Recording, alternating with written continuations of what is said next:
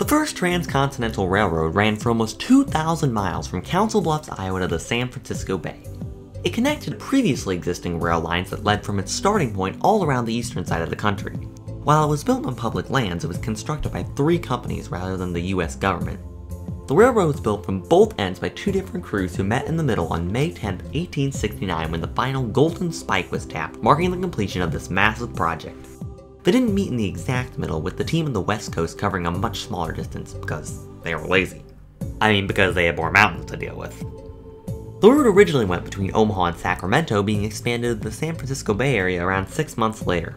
The railroad companies that took on this task were compensated greatly, being paid between $16,000 and $48,000 per mile, depending on the terrain.